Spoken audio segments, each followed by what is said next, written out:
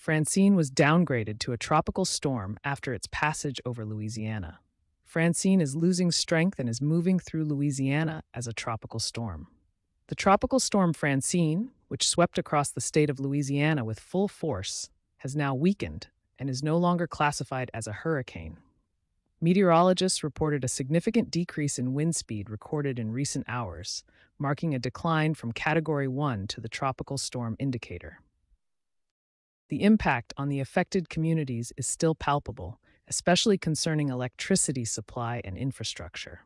Utility companies, such as Entergy, were on alert and mobilized teams to facilitate customer relief efforts. Reports indicated that many households struggled with power outages caused by fallen trees and branches.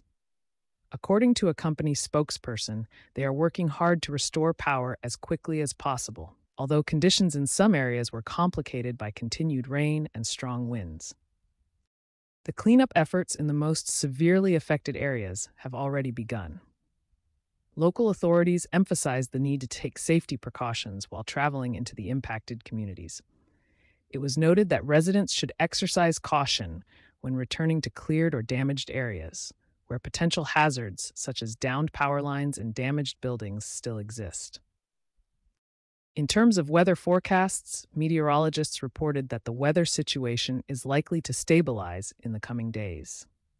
Nevertheless, the population has been urged to remain vigilant and to follow local news channels and social media to receive the latest information on the situation. Additionally, it was pointed out that further rainfalls could add to the burden on already affected areas. Although Francine has decreased in terms of wind speed and storm intensity, residents have been reminded that the consequences of such a storm can be far reaching. Collaboration between various organizations, including public safety authorities and utility companies, is crucial to support residents in this tense situation and to initiate the necessary relief measures.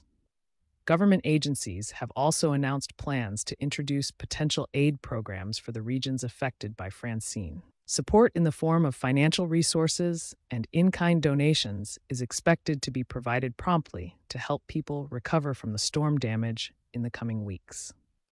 Overall, the situation remains tense as cleanup and repairs from the damage are underway.